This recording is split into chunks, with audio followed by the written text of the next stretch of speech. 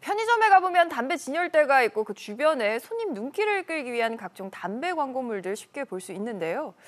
보건당국은 앞서 이번 달부터 이런 광고가 밖에서 보이면 단속을 하겠다라고 경고를 했습니다. 그런데 내부 논의를 거친 끝에 단속을 6개월가량 유예를 하기로 했습니다. 어찌된 일인지 취재기자 연결해서 들어보겠습니다. 어마은 기자. 네, 어마은입니다. 편의점에 가보면 뭐 담배 진열대 위나 옆에 담배 광고 굉장히 많이 볼 수가 있는데 이게 또 외부에서 보이면 불법이라고요? 네, 그렇습니다. 현행법에 따르면 담배 소변전 내 부착된 담배 광고물이 외부에서는 보이면 안 됩니다. 영업점에서 1, 2m 떨어진 거리에서 식별되거나 도로 폭이 1m 미만 보행로 중간 지점에서 식별되면 법 위반인데요. 1년 이하의 징역이나 1천만 원 이하의 벌금에 청에 처해질 수 있습니다. 10여 년 전에 생겨난 법인데 그동안 실제 단속은 없었습니다.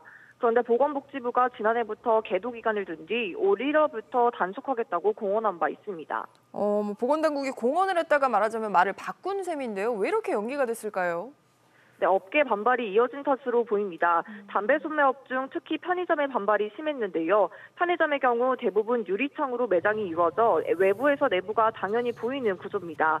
관련법을 위반할 수밖에 없는 상황인 만큼 법이 현실성이 없다는 게 편의점 업계 주장입니다. 업계에선 매장 내부에 있는 담배 광고물에 필름을 붙여 멀리서 잘 보이지 않게 하거나 매장 전체 유리 외관에 불투명 시트지를 부착하는 방법밖엔 없다고 하는데요. 이번 계도 기간 연장으로 일단 편의점 업계는 한숨을 돌렸지만 마땅한 대책이 나오기 전까진 업계 반발은 이어질 것으로 보입니다. SBS 비즈 어마안입니다.